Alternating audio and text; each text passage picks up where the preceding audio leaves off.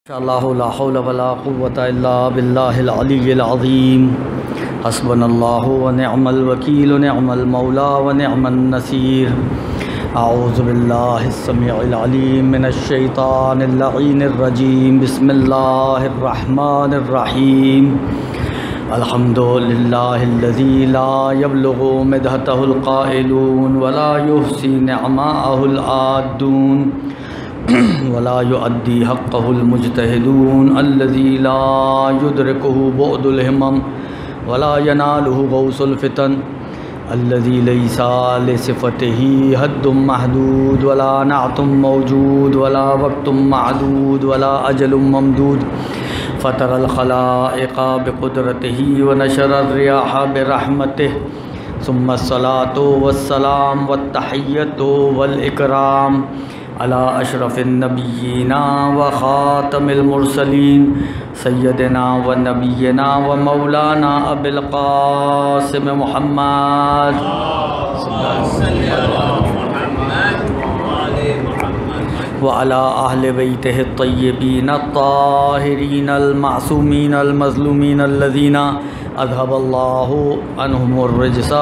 तहरहुम ततहीरा अल्लाहुम्मा सल्लि अला मुहम्मद व अला ला सियमा अलल इमामिल मुंतज़र वल हुज्जत सानी अशर व लअनतुद दाइम अला अदाइहिम अजमईन मिनल आन इला क़ियाम यौमिद्दीन अम्मा बादु फ़क़द क़ाल अल्लाह तबारक व तआला फ़ी किताबिहिल करीम व क़ौलुहुल हक़ व हुवा अस्दक़ुल क़ाइलीन बिस्मिल्लाहिर रहमानिर रहीम या अय्युहल्लज़ीना आमनू ला ताकुलुर रिबा अज़ाफ़न मुज़ाअफ़तन वत्तक़ुल्लाह लअल्लकुम तुफ़्लिहून दुरूद मोहम्मद वाले मोहम्मद पर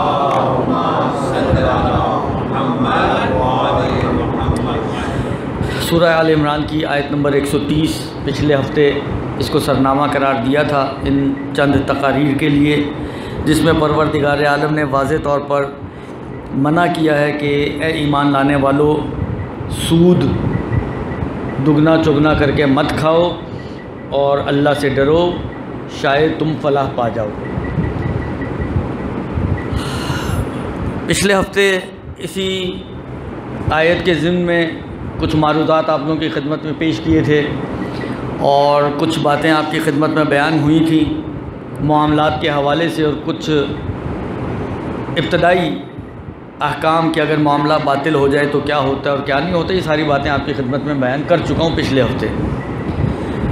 आज मैं डायरेक्टली जो है, जो मौजू हमारा है, जो आप लोग देख रहे हैं मुसलसल हलाल और हराम मामलात, मैं सिर्फ़ एक एक मसला इस तोज़ी से पढ़ूँगा, जो मैं आपके लिए लेकर आया हूँ, जिसमें आप किसी की भी उठा के देख लें, अगर खुई की भी, अगर सिस्तानी, अगर वहीद की, अगर रूहानी की, अगर गुलपैरानी की, पीछे चले जाएँ, अगर खुमैनी की, आगे चले जाएँ, अगर वहीद की, अगर जंजानी की, किसी को भी आप ले लें, जो मराजीन मौजूद हैं, ये उनकी तरतीब आम तौर पर तोज़ील मसाइल की यही है। तो जब ये चैप्टर मामलात का स्टार्ट करते हैं तो उसके शुरू में, आमतौर पर रविश यही है कि शुरू में एक आध हदीस बयान करते हैं। उसकी अहमियत को बयान करने के लिए फिर मुस्तबात, मुस्तब मामले, मकरू मामले और इसी के अंदर एक हराम मामला का टॉपिक है जो दिया गया है। उसी से मैं ये मसला अभी आपकी खिदमत में पढ़ रहा हूँ कि जिसमें कुछ हराम अच्छा ये भी जहन में रखिएगा कि मुनहसर नहीं है। ये जो तोज़ी मसाइल का ये जो मसला है, ये इन्हिसार को बयान नहीं कर रहा। इन्हिसार का मतलब क्या होता है?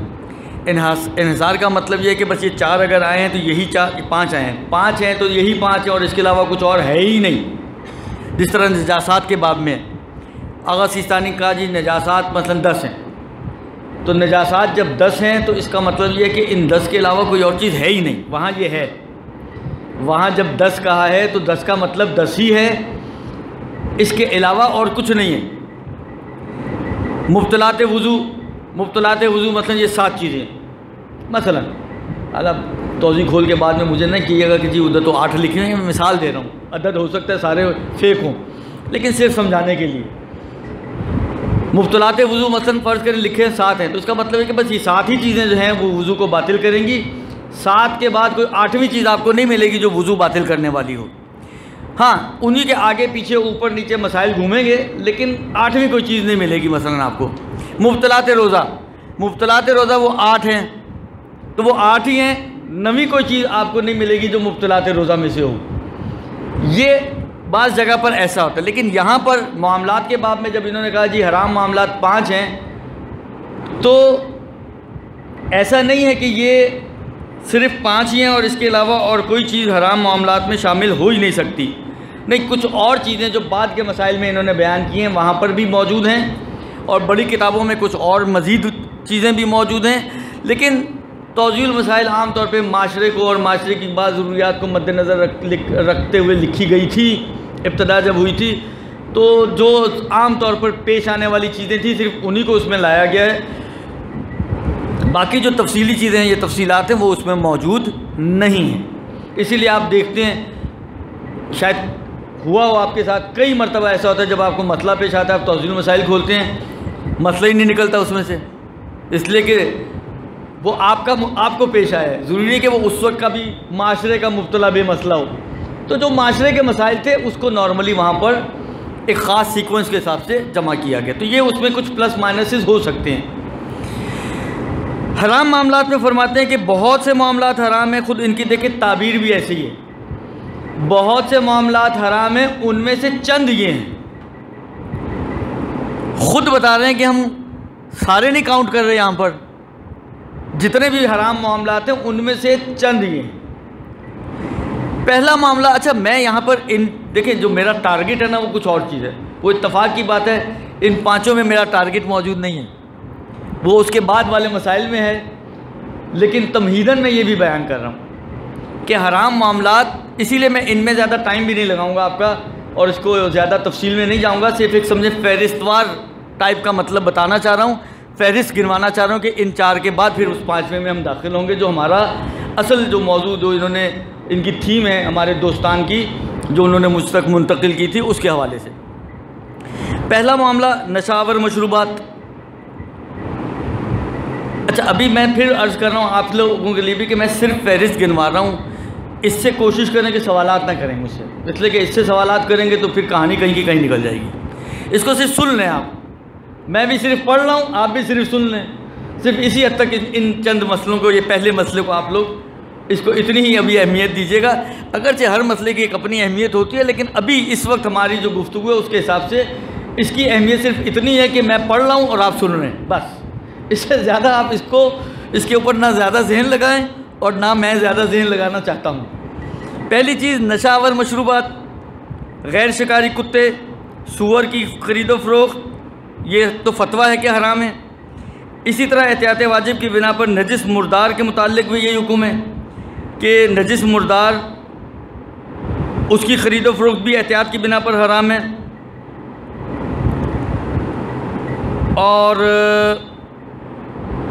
इसी तरह से फरमाते हैं कि दूसरी नजासात, उनकी ख़रीद फ़रोख्त उस सूरत में जायज़ है, यानी इनके अलावा मुर्दार, गैर शिकारी कुत्ता, सूअर और शराब वगैरह, नशावर, मशरूबात। इन चार के अलावा बाकी जो नजासात हैं, उनके बारे में आगा फरमाते हैं कि वो उस सूरत में जायज़ हो सकती हैं, जबकि एन नजासत से कोई हलाल फ़ायदा कि जो उर्फ़ में उस फ़ायदे को अहमियत दी जाती है मतलूब हो, जैसे फजले से खाद बनाना तो उसकी भी फिर ख़रीदो। फरोख्त जायज़ हो जाएगी। या जैसा हमारे यहाँ होता है, खून बेचते हैं लोग तो उस खून बेचने के ऊपर बहरहाल हलाल फ़ायदा इंदल अकला मौजूद है।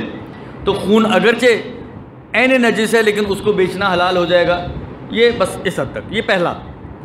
दूसरा फरमाते हैं कि गसबी माल, उसकी ख़रीदो फरोख, जबकि उसमें तसरफ़ लाजिम ना आता हो। तसरुफ़ लाजिम ना आता हो मतलब लेना और देना पकड़ाना और पकड़ना ये लाजिम ना आता हो।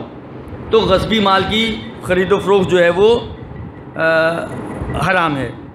सॉरी तसरुफ़ लाजिम आए तो हराम है। लाजिम ना आता हो तो उसकी गुंजाइश निकल आती है लेकिन तसरुफ़ लाजिम आए तो ख़रीदो फ़रोख्त हराम है। ये हो गया दूसरा हराम मामला। तीसरा हराम मामला ऐसी करेंसी से मामला करना जिसकी हैसियत ख़त्म हो चुकी हो। पाँच का नोट ख़त्म हो चुका। दस का वो पुराना वाला, बड़ा वाला नोट ख़त्म हो चुका। अठन्नियाँ, चवन्नियाँ ख़त्म हो चुकी। पता नहीं है ये ख़त्म हो चुकी हैं। हैं अभी? देता तो कोई नहीं है, ना लेता है कोई, ना देता है। बहरहाल चलें, अगर है तो ठीक है, वो है अभी। लेकिन पाँच का नोट, एक रुपये का पुराना नोट, दो रुपये का पुराना नोट, पाँच रुपये का नोट, दस रुपये का बड़ा वाला पुराना नोट, ये सब ख़त्म हो चुके हैं। पचास रुपये का पुराना नोट, सौ रुपये का, ये जो पुराने पुराने नोट है, अब किसी के पास अगर मौजूद हो और वो उससे लेन देन करना चाहे तो फरमाते हैं कि ऐसी करेंसी जिसकी हैसियत ख़त्म हो गई हो, इसी तरीके से जाली करेंसी से सौदा करना, जबकि फ़रीक इसे बेखबर हो। यानी उसको पता ना हो कि ये जाली है, उसको पता ना हो कि ये, जैसा बाज़ अवत होता ना, अभी ताज़ा ताज़ा ख़त्म हुआ उसका एतबार, और अभी इतना मशहूर नहीं हुआ, और आपने कहा, यार, इससे पहले कि मशहूर हो, आगे बढ़ा दो। तो ये जायज़ नहीं है। ये हराम मामला है। लेकिन कहते हैं कि अगर फ़रीक को पता हो तो उस सूरत में ये करेंसी काबिल तवज्जो मालियत रखती हो तो ये मामला जायज़ हो जाएगा। यानी इसका मतलब यह कि अगर इस करेंसी की मालियत, जैसा बाज़ अवत होता है, मसलन बैंक ने अनाउंस कर दिया, एक आखिरी डेट दे दी है।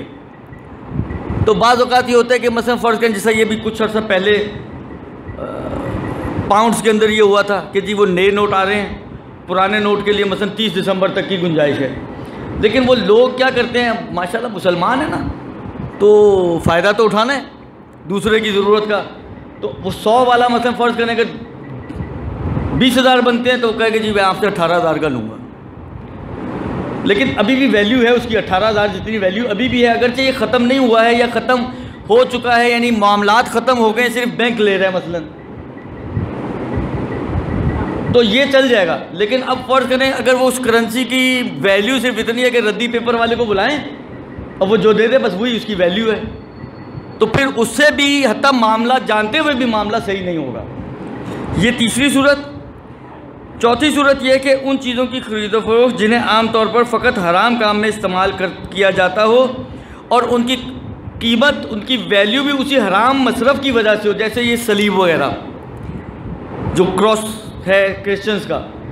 इसकी इसकी वैल्यू इसके सलीब होने में वह आप ऐसी लकड़ी का क्रॉस बनाकर बेचें कौन ख़रीदेगा आपसे? कोई भी नहीं ख़रीदेगा। लेकिन अगर सलीब बाकायदा उसके ऊपर आप एक हज़रत ईसा को टांगें तो फिर ख़रीदार आपको मिल जाएँगे। तो उसकी वैल्यू इसी वजह से, इसकी ख़ास शक्ल की वजह से। ये हराम काम है, क्योंकि इबादत का, के लिए ख़रीदा जाता है और गैर खुदा की इबादत, क्योंकि हराम है, लिहाजा इसकी ख़रीदो फरोख्त भी हराम हो गई। इसी तरीके से मसलन फ़र्ज़ करें जुए के आलात ताश उसकी खाली कार्ड हो मसलन फ़र्ज़ करें जो वैल्यू एक ताश की है वो इस ओनों की नहीं है।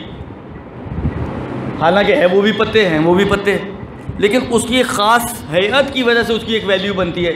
शतरंज और जो दूसरी जो क्या खे, गेम खेलते हैं भाई ड्राफ्ट दोनों ही मोहरों वाली गेम्स हैं। दोनों में काले सफ़ेद मोहरे होते हैं। दोनों का बोर्ड शक्ल सूरत में एक जैसा नज़र आता है। लेकिन जितने में ये ड्राफ्ट मिलते हैं, उतने में ये शतरंज नहीं मिलती आपको। उसकी वैल्यू उसकी ख़ास हैत की वजह से। तो वो भी हराम हो जाएगा। और पाँचवा और आखिरी मामला वो मामला कि जिसके अंदर मिलावट हो। गश मन गशा फलई सा मिलना रिवायत का जुमला है। पैगंबर की रिवायत है। कि जिसने किसी के साथ धोखा किया, मिलावट से काम लिया मिलावट के तीन चार मसादी कागज़ सिस्तानी ने बयान किए वो मुझे भी आपके लिए बयान नहीं करने लेकिन मिलावटी और धोखे वाली ख़रीदो फरोख्त और मामला, वो भी हराम है और बातिल मामला है। ये तो अच्छा फिर मिलावट के इन्होंने मैंने अर्ज़ किया ना कि मुख्तलिफ़ मवारद बयान किए जो मुझे बयान नहीं किए, उसके बाद कुछ और मसले बयान किए वो भी मुझे बयान नहीं करने अब आ जाए ये मसला नंबर 2015 मैंने पढ़ा आपका छलांग मार के आ जाए मसला नंबर 2032 पर। वो असल में वहाँ से हमारा काम शुरू होता है सूदी मामला वो मामला के जिनका ताल्लुक सूद से है। देखें, सूद कोई अच्छी चीज़ नहीं है, ये तो सभी जानते हैं। बुरी चीज़ है, ये भी सब जानते हैं। गुनाहान कबीरा में से मेरा ख्याल है ये भी सब जानते होंगे। जितना कम से कम मजमा मेरे सामने मौजूद है, मेरी अपनी जो हुसन ज़न आप सब के बारे में है, वो यही है कि इतना तो आप सब जानते होंगे कि ये गुनाहान कबीरा में से। लेकिन बाज़ अज बुज़ुर्गान का कहना ये ज़ाहरन या तो ये जुमलात अल्लामा तबा तबाई के हैं, या ये जो आपके आगा शेख मुर्तज़ा मुताहिर, शेख मुर्तज़ा मुताहिर। इन दो में से किसी एक के हैं ज़ाहिर अल्लामा साहब के हैं। वो ये कहते हैं कि दो चीज़ें ऐसी हैं शरीयत में, इस्लाम में, दीन में, कि जिनको हराम तो करार दिया गया है, जिनको गुनाह करार दिया गया है, कबीरा भी हैं। लेकिन जिस अंदाज से, जिस लहन के साथ उनको हराम करार दिया गया है जो माशरे के हिसाब से बड़े बड़े गुनाह हैं शायद उनके अंदर उतना सख्त लहन नहीं है, बल्कि उनका लहन उनकी नस्बत मुलायम है। इनकी ताबीर ये अल्लामा साहब की। मसलन कत्ल। अर्ज़ खिदमत यह है कि अल्लामा तवा तबाई फरमाते हैं कि दो चीज़ें ऐसी हैं कि जिनके बारे में जो कुरान का और रिवायात का लहन है, अंदाज़ है, वो इतना शदीद और सख्त है कि बाज़ बड़े बड़े गुनाह उनकी नस्बत उनका लहन आपको नरम और मुलायम लगेगा। अब मिसालें जो उन्होंने दी हैं, यानी हम माशरे के हिसाब से देखें, मसलन फ़र्ज़ करें, वो कहते हैं कि जना शुरब खमर जुआ, जुल्म, कत्ल, कहते हैं, इनके बारे में जो लहन कुरान में आया है, वो मुलायम है, नरम है, उस लहन और उस अंदाज के नस्बत के जो दो गुनाहों के बारे में आए एक है सूद, रिबाखौरी और एक है ालिम को अपने ऊपर मुसलत करना और ालिम को अपना हुक्मरान बनाना। अल्हम्दुलिल्लाह, हमारे माशरे में दोनों चीज़ें। हम एक ालिम को उतारते हैं, दूसरे को बिठाते हैं, दूसरे को उतारते हैं, तीसरे को बिठाते हैं। इतनी देर में फिर पहले वाले की बारी आ चुकी होती है। हमारे कहानियाँ बस इसी में ही घूम रही हैं। ज़िंदगी हमारी बचपन से हम जो पचास, तिरपन, चौपन चौपन साल के हो गए भाई यही देख रहे हैं, यहीं पे वो तो इक्का दुक्का, तिक्का, बस सब ट्रायंगल में काम, कहानियाँ चल रही हैं। बहरहाल तब हम खुद अपनी ही हालत सुधारने के लिए तैयार नहीं है तो खुदा क्या कर सकते हैं? खुदा उस कौम की हालत नहीं सुधारता जो अपनी हालत खुद नहीं सुधारते। तो दो गुना, एक सूदखोरी और एक ालिम हाकिम को अपने ऊपर मुसलत करना। कहते इन दो के लहन इतने शदीद हैं कि बाकी गुनाहों का लहन आपको नर्म और मुलायम लगेगा इन दो की नस्बत। और फिर उसकी एक वजह उन्होंने बयान की है, शायद इसकी वजह यह है कि ये दोनों जो हैं, इज्तम की तरफ़ पलटते हैं। और बाकी जो हैं मतलब फ़र्ज़ करें, कत्ल एक दो आदमियों से मरबूत है, जना एक दो आदमियों से मरबूत है शराब खोरी एक आदमी से मरबूत है, वो एक किस्म के इनफरादी टाइप के या बहुत ही महदूद दायरे वाले गुनाह हैं, लेकिन सूदखोरी ये पूरी माशरे के लिए नासूर है। ालिम हुक्मरान ये पूरे माशरे के ऊपर मुसलत होकर पूरे माशरे का बेड़ा गर्क करता है। लिहाजा इस वजह से शायद इन दोनों के बारे में ज़्यादा सख्ती से बात की गई है। देखें, मैंने अर्ज़ किया ना कि जो लोग मेरे सामने मौजूद हैं, शायद इनको इतनी ज़्यादा ज़रूरत ना हो, लेकिन बात को एक कामिल तर करने के लिए मैं कुछ रिवायात शुरू में आपकी खिदमत में पेश करना चाहता हूँ कि जिसमें सूद के बारे में कुछ बातें की गई हैं। अच्छा सूद गुनाहान कबीरा में से इसमें कोई शक नहीं है। गुनाहान कबीरा का मैार भी आप, मैंने कहा ना, फ़िकी लोग हैं, आपको मालूम है कि हर वो गुनाह जिसके ऊपर अजाब का वादा किया गया हो कुरान में, या रिवायतों में, या किसी ऐसे गुनाह से उसको शदीद माना गया हो कि जिस गुनाह के ऊपर अजाब का वादा किया गया है तो वो उस गुनाह को कबीरा बना देते हैं, या वाज तौर पर तस्री की गई हो कि ये गुनाह कबीरा है, चाहे अजाब वजाब की बात कोई ना भी की गई हो, लेकिन वाज तौर पर इसकी तस्री की गई हो। रिवायत मुख्तलिफ़ और मुतद रिवायात हैं जो पैगंबर और आयमा से इस मौजू के बारे में बयान हुई हैं। पहली रिवायत इस बात के ऊपर कि ये गुनाह कबीरा में से है, इमाम रज़ा वसलाम का इरशाद।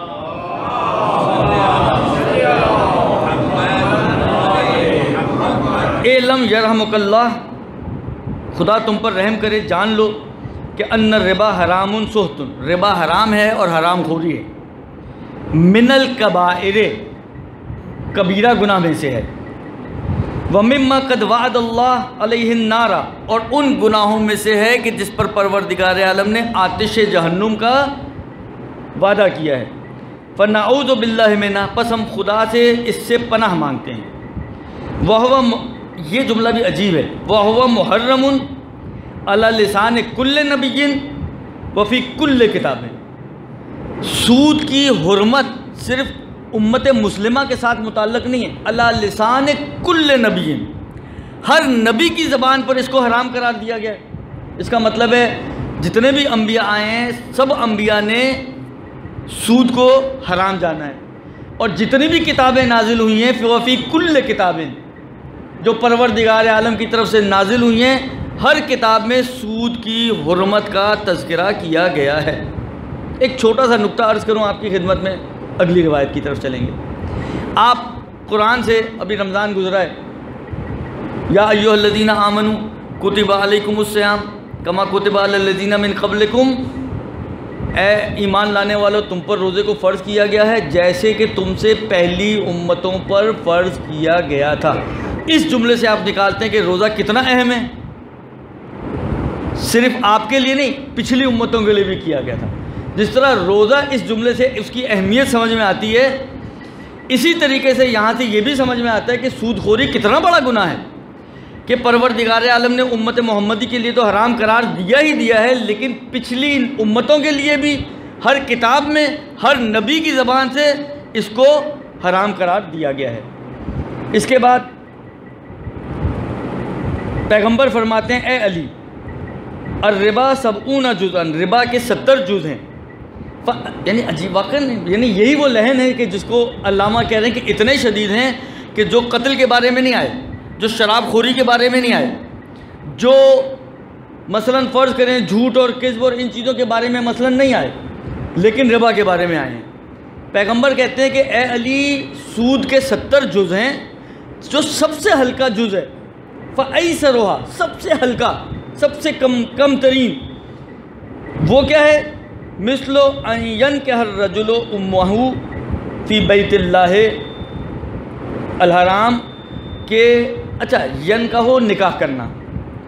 जब निकाह करना रिवायतों में इस तरह की रिवायतों में आते हैं, इससे किनाया सिर्फ़ ऐसा नहीं कि आप कहें जी सीगा पढ़ के बैठ गए साइड में। सिर्फ़ सीगे की हद तक बात नहीं होती है, बल्कि निकाह करना किनाया होता है इस बात से कि उसके साथ उस फेल को भी अंजाम दिया जा रहा है।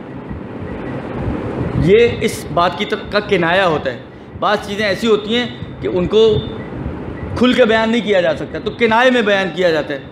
इशारों के नाए में आप तो जानते ही हैं, बिलाखिर, ये तो मुतदावल चीज़ है कि किसी बात को इशारों के नाए में बात करना, कब करते हैं आप इशारों के नाए में बात? जब वो चीज़ खुल कर बयान ना की जा सकती हो। तो ये मौजू ऐसा है कि कोई इतना खोल कर नहीं बयान किया जा सकता, लिहाजा अल्लाह का रसूल भी उसको किनाए में बात कर रहे हैं। कि सबसे हल्का जुज ये है कि कोई शख्स अपनी माँ के साथ निकाह करे हरम बैतुल्ला में। और फिर फरमाते हैं कि, या अली, दिरहमुन दिरहमुन रिबा आज़म इंदल्ला मिन सबीना जनीतन कुल्लहा बेज़ात महरमिन फ़ी बैतल्लाहराम ए अली, एक दिरहम। अब ये पैगंबर ने दिरहम की बात की, इसलिए कि पैगंबर जिस ज़माने में और जिस सरजमीन में ज़िंदगी गुजारते थे, वहाँ पे दिरहम और दीनार चलते थे। और सबसे छोटा सिक्का यही था। अगर मैं अपनी उर्दू के हिसाब से बात करूँ तो एक रुपया, जिसकी आज कोई वैल्यू भी नहीं है। एक रुपया दिरहम एक रुपया सूद का। एक दिरहम सूद का। अब मैं रिवायती का तर्जुमा कर दूँ, अब रुपया ना ही लाऊँ तो अच्छा है। एक दिरहम सूद का। गोया ऐसा है कि कोई शख्स अगर एक धर्म सूद खाता है, इतना बड़ा गुना है कि उसने सत्तर जिना किए हों और सब के सब बैतुल्ला में। बैतुल्ला मुक़दस तरीन ख़त्ता, नुक्ता, हिस्सा इस ज़मीन का वो हरम काबा है और हरम काबा में भी एक ख़ास हिस्सा। अल्लाह का रसूल फरमा रहा है एक धर्म जिना सूद खाने वाला, सत्तर जिना वो भी उस जगह पर। कितना बड़ा गुना होगा? और अब आप खुद अंदाज़ा लगा लें कि कितना शदीद लहन है और किस शिद्दत से इसकी हरमत को बयान किया जा रहा है। इसके बाद पैगंबर फरमाते हैं कि पैगंबर को एक खौफ है अपने बाद। अच्छा बहुत सी रिवायतों में इस किस्म के अल्फाज हैं, लेकिन ये सूद के बारे में भी है। कि पैगंबर फरमाते हैं कि इन्ना अखवफ़मा अखाफ़ अला उम्मती मिनबादी हाजिल मकासिबिल मुहर्रमा। तीन चीज़ों का डर है मुझे अपनी उम्मत से। अपने बाद सबसे ज़्यादा डर मुझे अपनी उम्मत से जो है वो तीन चीज़ों के बारे में है। एक ये कि वो हराम कमाइयों में पड़ जाएँगे। दूसरा है कि वह शहवतिल खफिया, छुपी हुई शहवतें, शहवत अंगेज़ी और वो भी छुपी हुई, उसमें पड़ेंगे मुबतला होंगे। और तीसरी चीज़ रिबा सूद खोरी ये मुझे खौफ है अपनी उम्मत पे कि बाकी किसी चीज़ में मुबतला हों के ना हो, लेकिन इन तीन चीज़ों में मुबतला होने का ख़दशा है। पैगंबर महराज पे गए, लम्मा उस उसरिया भी समाए पैगंबर फरमाते कि जब मुझे महराज पर ले जाया गया, राय तो अकवामन युरीदूना आहदम यकूम वला यकदर मिन एज़म बतन। अजीब जुमला ये भी। पैगंबर कहते हैं कि जब मैं महराज पर गया मैंने एक ग्रोह को देखा। उठना चाहते हैं मगर उठ नहीं पा रहे। क्यों नहीं उठ पा रहे? पाकिस्तान तो नहीं कि एक दूसरे की टांग खींच रहे हो। ये जहनुम की बात हो रही है। तो क्यों नहीं उठ पा रहे? मसला क्या है उठने में? का मसला यह है कि उनके पेट इतने बड़े हैं कि उन पेटों के बड़े होने की वजह से वो उठ नहीं पा रहे। फिर पैगंबर फरमाते हैं कि फ़कुल तो रावी कहते हैं, मैंने कहा मन हाउलाई सॉरी फ़कुल तो पैगंबर कहते हैं कि मैंने जबराइल से पूछा, या जबराइल मन हाउलाई ये कौन लोग हैं? कि जिनके इतने बड़े पेट हैं कि पेट के बड़े होने की, अब ये देखें इन शायद हमारे लिए तो शायद इतना काबिल तस्वुर भी ना हो कि कोई ऐसा इंसान हम तस्वुर करें, जिसका पेट इतना बड़ा हो। सही है मोटे मोटे आदमी हमने देखे, लेकिन वो फिर पूरे ही मोटे होते हैं ना। तो वो पूरी बॉडी एक लेवल पर होती है तो शायद उनके लिए मुश्किल होता है उठना, बैठना, लेकिन उठ जाते हैं फिर भी। और बड़े बड़े मोटे मोटे पहलवान खुद भी उठ जाते हैं और बड़े बड़े वज़न भी उठा लेते हैं। लेकिन अब ये शख्स एक ऐसा है कि जिसका पेट इतना बड़ा है, इतना बड़ा है कि पेट के बड़े होने की बिना पर वो उठ ही नहीं पा रहा। पूछा, जबराइल, ये कौन लोग हैं? काला हा उलाय लदीना याकुलून रिबा ये वो लोग हैं जो सूद खाते थे।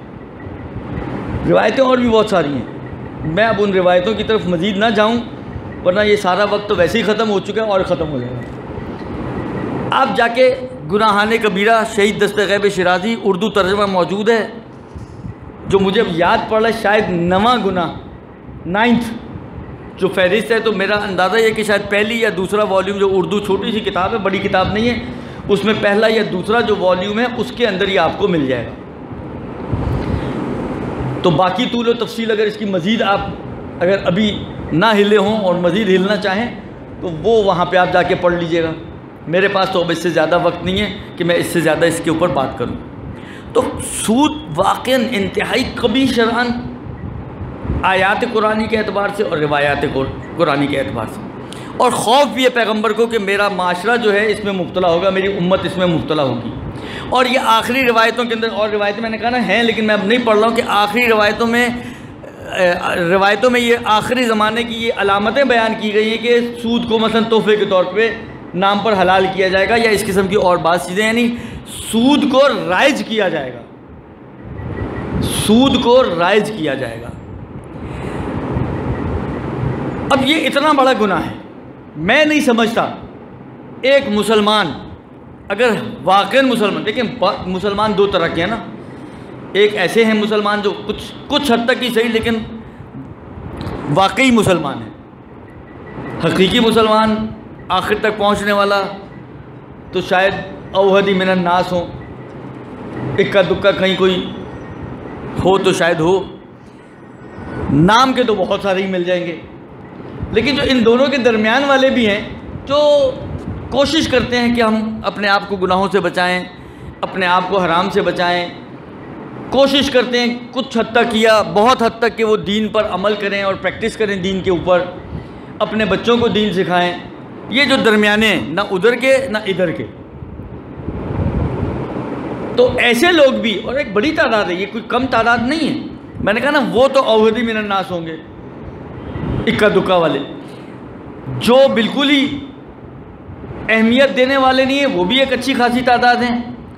और जो दरमियानी कैटेगरी के मुसलमान हैं, वो भी, बहरहाल ऐसा नहीं कि आपके कि चार से दस बारह होंगे। वो भी एक अच्छी खासी तादाद मौजूद है कि जो चाहते हैं कि अपने आप को गुनाहों से बचाएँ, और ख़ास तौर पे सूद के गुनाहों से। इसका सबसे बड़ा सबूत ये है। हालाँकि हो सकता है इस पर कुछ और भी अगराज हो, मैं तो ज़ाहरी बात कर रहा हूँ इस वक्त। ज़ाहरी निगाह से और इंतहाई सरसरी निगाह से।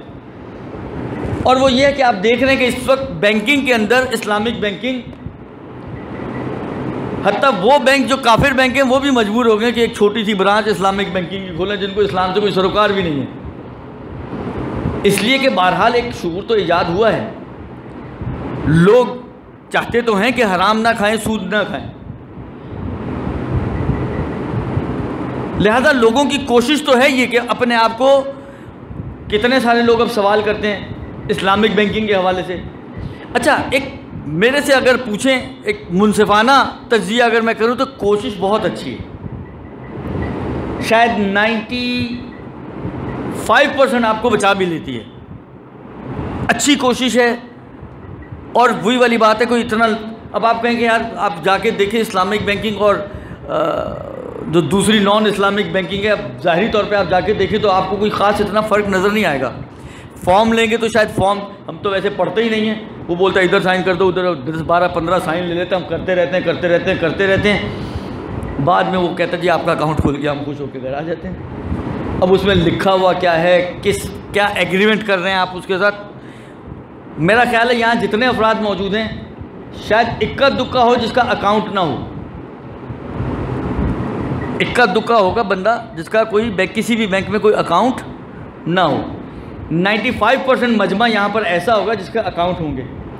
95 परसेंट में से 5 परसेंट भी ऐसे नहीं होंगे जिसको पता हो कि उसने किस चीज़ पे साइन किया 90 परसेंट लोग आँखें बंद करके इधर साइन मार दो, इधर साइन मार दो, इधर या फॉर्म को काटियाँ मार के भेज देता है, इस पर साइन मार के भिजवा दिया आपने भी। पढ़ने की जहमत ही नहीं कोई करता। लेकिन एतराज़ करने की जहमत वैसे सभी कर लेते हैं। कि फॉर्म तो वही वाला फॉर्म है, वो आपको क्या पता वही वाला फॉर्म है या उन्होंने उसमें कुछ चेंजेस लेकर आए आपको क्या पता है? पढ़ा तो है नहीं आपने। लेकिन एतराज़ सब करते हैं। खुलासा ये कि ये एक अच्छी कोशिश है। एक दो जगह हैं जहाँ पे थोड़े से कीलो काल हैं अभी भी। लेकिन 90-95 परसेंट ये अच्छा काम है। और आपको 90-95 परसेंट ये आपको सूद से हकीकतन बचा लेता है। अच्छा अब आप ये हो सकता है कि कोई ये कहे। इससे पहले कि आप खुद कहें, मैं खुद ही कह लेता हूँ कि कोई ये कहे कि भाई, अभी आपने कहा जी, आखिरी ज़माने की अलामत ये है कि मतलब सूद को जो है वो तोहफे के नाम पे हलाल किया जाएगा। दुरुस्त। या रिश्वत को तोहफे के नाम पे हलाल किया जाएगा, इस तरह की चीज़ें हैं। तो अभी आप भी तो सूद को हलाल ही कर रहे हैं, और क्या कर रहे हैं? बैठे यहाँ आप भी ज़िबा कर रहे हैं मुर्गी, वो भी ज़िबा करते हैं मुर्गी। तो फ़र्क क्या पड़ा आपके अंदर और उसके अंदर? बहुत फ़र्क है, बहुत फ़र्क है। वो जो करते हैं, सिर्फ़ टाइटल चेंज करते हैं, माहियत नहीं चेंज करते। ये जो होता है, ये माहियत चेंज करते हैं, सिर्फ़ टाइटल चेंज नहीं करते। अब मुझे नहीं पता ये जुमला किसकी समझ में आया और किसकी समझ में नहीं आया। माहियत कहते हैं किसी चीज़ की हकीकत को। अब माहियत की चेंज समझाने के लिए मैं एक मिसाल दूँ, फ़िक्री मिसाल, जो आसान मिसाल है, समझने के हिसाब से। मुताहरात के अंदर अगर आप जाएँ यानी वो चीज़ें जो पाक करती हैं किसी नजिस चीज़ को, उसमें एक चीज़ दी गई है, इस्तेहाला। इस्तेहाला यानी माहियत का चेंज होना। मिसाल उसकी क्या है? उसकी मिसाल ये है कि कुत्ता अगर नमक की कान में गिर जाए और इतना अरसा नमक की कान में पड़ा रहे कि वो कुत्ता डिज़ोल्व होकर नमक बन जाए तो चेंज आई माहियत में या नहीं आई? पहले कुत्ता था, अब नमक है। ये है चेंज ऑफ़ माहियत और सिर्फ़ टाइटल चेंज करना, आप कुत्ते का नाम बिल्ली रख दें। कहें जी, आज से ये कुत्ता नहीं, बिल्ली है। तो कुत्ता बिल्ली बन रहे, नाम बिल्ली रखने, उसके गले में आपने एक पट्टा डाल दिया, बिल्ली का। तो बिल्ली बन जाएगा। ये है दोनों का फ़र्क। कि ये जो पैगंबर कह रहे हैं, ये सिर्फ़ टाइटल चेंज करने की बात कर रहे हैं। यानी आपने क्या किया? कुत्ते का नाम रख दिया बिल्ली और कहा जी, आज से ये है बिल्ली। तो उस बिल्ली कहने से वो हराम जानवर, हलाल नहीं बनेगा। और बिल्ली कहने से वो नजिस जानवर, पाक नहीं बनेगा। अब ये हराम जानवर, हलाल नहीं बनेगा, बिल्ली हलाल होती नहीं है। ये सिर्फ़ समझाने के लिए बोला मैंने जुबला हालाँकि बिल्ली की बजाय बकरा करते हैं आप उसको। कुत्ता बकरे से ज़्यादा मिलता है जी ये बकरा है। तो ना हलाल बनेगा और ना पाक होगा। लेकिन माहियत चेंज होने से वो कुत्ता जब नमक बना तो पाक भी हो गया और हलाल भी हो गया। यानी ऐसा नहीं कि आपके लिए वो नमक खाना हराम है। आप उस नमक को खा सकते हैं और पता नहीं कितना खा रहे होंगे। तो पाकिस्तान है तो बकरे के नाम पे कुत्ता भी खिला देते हैं। तो नमकजार में गिरा हुआ कुत्ता नमक बनने के बाद खिला रहे हैं तो ये तो कोई बड़ी चीज़ है ही नहीं ना वैसे। और शरण भी मुश्किल नहीं है। जो मुश्किल है ये हम वो खा जाते हैं तो ये तो फिर हलाल चीज़ हो गई। बस उसमें इतना बड़ा फ़र्क है। यानी ये जो बताया जा रहा है इस्लामिक बैंकिंग के नाम पर, ये माहियत को तब्दील करता है। यानी कुत्ते को नमक बनाता है। और वो जो पैगंबर बना रहे हैं, वो सिर्फ़ टाइटल चेंज कर रहे हैं। यानी कुत्ते को आपने नाम लिख दिया बकरा। बस। अब आप माशाल्लाह समझदार लोग हैं कि कितना इन दोनों में फ़र्क है और कितना इनके अंदर।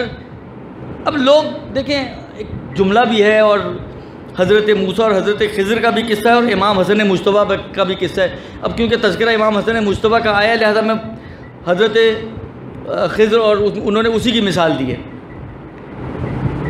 कि रिवायतों में भी है कि अन्नास आदा व माँ जहलू। लोग जिस चीज़ को नहीं जानते, उसके दुश्मन होते हैं। और फिर अपनी दुश्मनी भी दिखाते हैं कि ये क्या हो गया, ये वो वो हराम हो गया तो ये हलाल हो गया तो ये बातें भी करेंगे आपको। और हज़रत खज़र और हज़रत मूसा का किस्सा कि हज़रत मूसा, हज़रत खज़र की शागिर्दी इख्तियार करते हैं और एक जगह गए तो कश्ती में सुराख कर दिया। हज़रत खज़र ने पहले ही कहा था कि देखो, शोर शराबा नहीं करना, चुपके से मेरे साथ चलना है। लेकिन नहीं रहा गया हज़रत मूसा से। एतराज़ किया उन्होंने कि या नबी अल्लाह, ये आपने क्या कर दिया? उसकी कश्ती ख़राब कर दी। कहा, हमारा एग्रीमेंट क्या था? अच्छा कहा सॉरी सॉरी सॉरी फिर चल पड़े उनके साथ। आगे गए तो क्या कहते हैं, एक टूटा हुआ घर था, उसकी तामीर कर दी। हालाँकि उन, उस शहर वालों ने इनको ना खाना दिया, ना पानी पूछा। फिर एतराज़ किया का क्या एग्रीमेंट कहा सॉरी सॉरी सॉरी फिर चुप हो गए, फिर आगे बढ़े। तीसरी जगह किसी बच्चे को कत्ल कर दिया। हालाँकि तरतीब हो सकता है, ऊपर नीचे हो गई हो, लेकिन तीसरी जगह किसी बच्चे को कत्ल कर दिया। फिर एतराज़ किया। का क्या एग्रीमेंट होता? का अब सॉरी की गुंजाइश ख़त्म हो गई। बैठो, मैं तुम्हें बता देता हूँ, हुआ क्या था? और फिर तुम्हारा और मेरा रास्ता जुदा।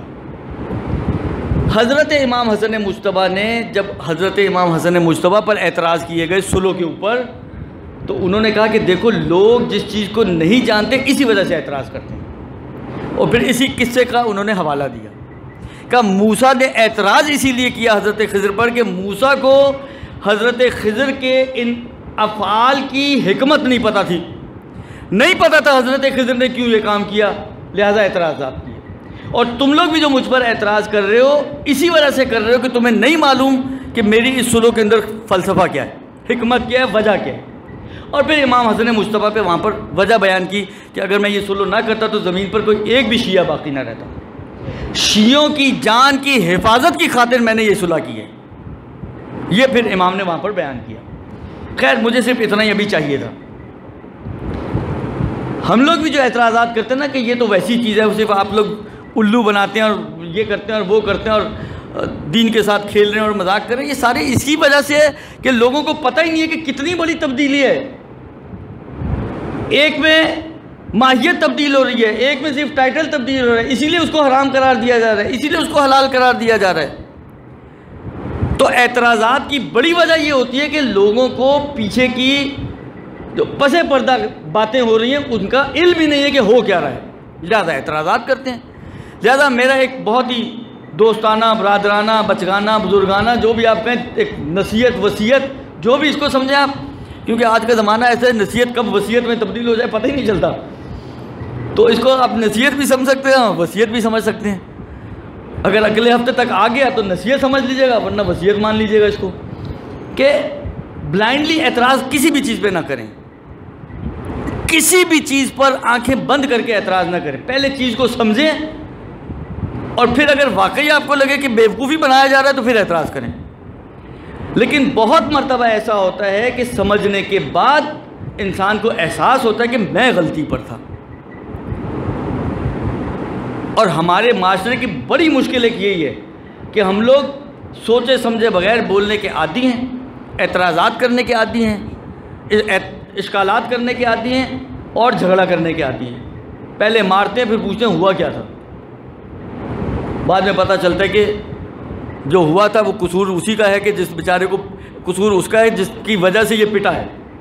इसका तो कोई कसूर ही नहीं था। होता है हमारे माशरे में, बहुत ज़्यादा होता है। कम भी नहीं है हमारे माशरे में ये चीज़। लिहाजा कोशिश करें हमेशा कि कोई भी बात आप सुने पहले तो फौरी तौर पर ना उसका इनकार करें और ना उस पर एतराज़ करें। पहले उसकी, जिसको कहें, बखियो देड़े उसका पोस्टमार्टम करें, समझने की कोशिश करें। समझ में आ जाए तो फब या ना समझ में आए तो करें एतराज़ जितना करने पे लेकिन ब्लाइंडली कोई काम ना करें।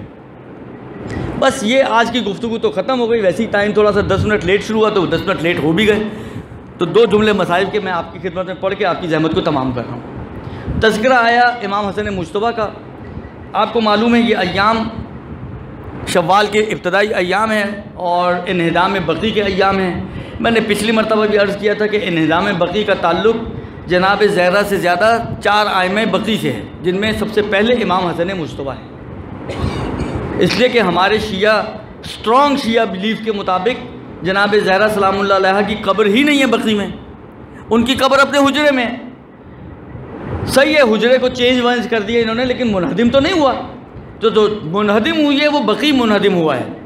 और बकी में चार आयमा की कब्रें हैं कि जो सूरज के नीचे मौजूद हैं। जब हम दूसरे आयमा की कब्रों को देखते हैं, लोग करबला जाते हैं। करबला की शान और शौकत को देखते हैं। चौबीस घंटे हरम खुला है।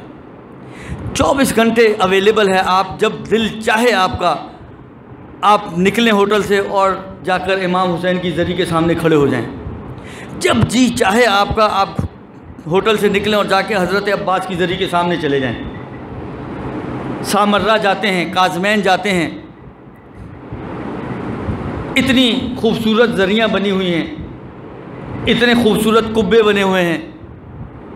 सहन बना हुआ है। और दूसरी सहूलियात वहाँ पर मौजूद हैं। नजफ़ जाते हैं। क्या खूबसूरत बारगाह बनी हुई है मेरे मौला की।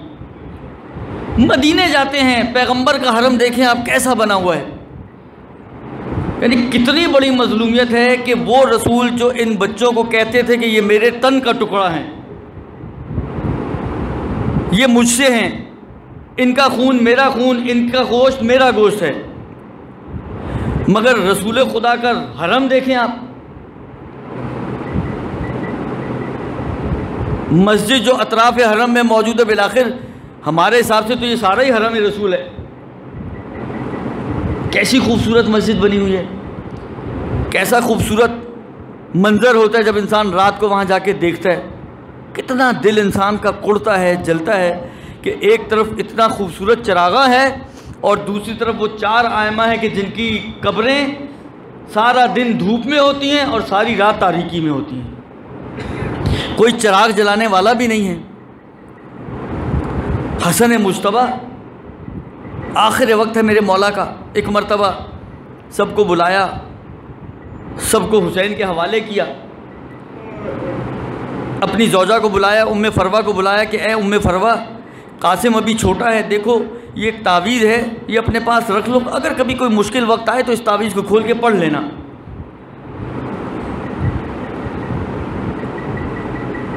ऐसा सख्त जहर दिया गया है मेरे मौला को कि जहर का प्याला मेरे मौला ने पिया है और जिगर के टुकड़े कट कट के तश्त में आने शुरू हो गए। आप सोचिए बाज़ रिवायतों के हिसाब से जैनब कुबरा वहाँ मौजूद हैं। और बाद में ऐसा कि इनको बुलाया गया, बहरहाल वहाँ मौजूद हो या बाद में बुलाया गया हो, लेकिन सिर्फ़ ये तस्वुर तो करें कि एक ऐसी बहन जिसको अपने भाइयों से शदीद मोहब्बत है। जब उसने अपने भाई के जिगर के टुकड़े तश्त में देखे होंगे, जैनब कुबरा के दिल की कैफियत क्या होगी? जैनब कुबरा का हाल क्या होगा? अजीब नसीब है जैनब कुबरा का। कभी अपनी माँ को दरो दीवार के दरमियान पिसते हुए देखती है। कभी अपने माँ के जनाजे को देखती है, कभी अपने बाप के जनाजे को देखती है, कभी अपने भाई हसन मुशतबा के जनाजे को देखती है, कभी अपने भाई हुसैन के जनाजे को देखती है। यानी जैनब कुबरा की ज़िंदगी को अगर उठा के देखें तो मुसलसल गमों पे गम जैनब कुबरा की ज़िंदगी में मौजूद हैं। और सिर्फ़ जनाजे देखे नहीं हैं, अजीब हालत में देखे हैं। हसन मुशतबा के जिगर के टुकड़े देखे हैं जब हसन मुशतबा का जनाजा तैयार होकर गया है, तारीख का पहला जनाजा होगा जो घर से निकलने के बाद वापस घर में आया है। और तारीख का शायद पहला जनाजा होगा जिसके ऊपर इतने तीर बरसाए गए हैं कि जनाजा तीरों में छुपा हुआ है। अरबाब ऐसा एक मरतबा जब जनाजा वापस आया होगा, जैनब कुमरा की आप कैफियत तस्वुर तो करें।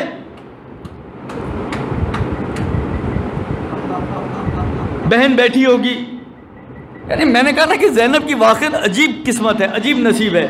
यहाँ पर बैठकर अपने भाई हसन मुशतबा के जनाजे से तीर निकाल रही है तो शायद शाम गरीबा के बाद अपने भाई हुसैन के जनाजे से तीर निकाल रही होगी। बस अरबाब ऐसा एक मरतबा। जन्नतुलबकी में मेरे मौला को दफन तो कर दिया गया। ज़माना गुजरता गया, बस आखिरी जुमले हैं। करबला का मैदान आ गया। करबला में दिन गुजरने शुरू हो गए। आशूर का दिन आ गया। एक मरतबा उम्म फरवा बेचैन, मुस्तरब बेकरार हैं। जब भी कासिम को देखती हैं, कहती हैं कासिम बेटा, तू अभी तक ज़िंदा है? यानी वाकई अजीब माएँ हैं करबला की माएँ। कासिम, तू अभी तक ज़िंदा है? दूसरी तरफ़ से कासिम भी तलब के कहते हैं कि मादर ग्रामी, मैं क्या करूँ? मैं जब अपने चचा के पास जाता हूँ, मेरे चचा मुझे इजाज़त नहीं देते। एक ही जुमला कहते हैं कि मैं तुम्हें कैसे इजाज़त दे दूँ? तू तो मेरे भाई हसन की निशानी है। जब हम हसन पे उदास होते हम तेरा चेहरा देखते हैं। मैं कैसे तुझे इजाज़त दे दूँ? बस ये जुमला सुना एक मरतबा। हसन का आखिरी वक्त याद आ गया, वो तावीज़ याद आ गया। तावीज़ खोल के पढ़ा तो हुसैन के नाम खत था। एक मरतबा कहा, बेटा, ये अपने भाई के पास ले जा, अपने चचा के पास ले जा। अब तेरा चचा तुझे नहीं रोकेगा। कासिम वो लेकर गए, एक मरतबा चचा के हवाले किया। जैसे ही अपने भाई की तहरीर को पढ़ा, एक मरतबा आँखों में आँसू आ गए।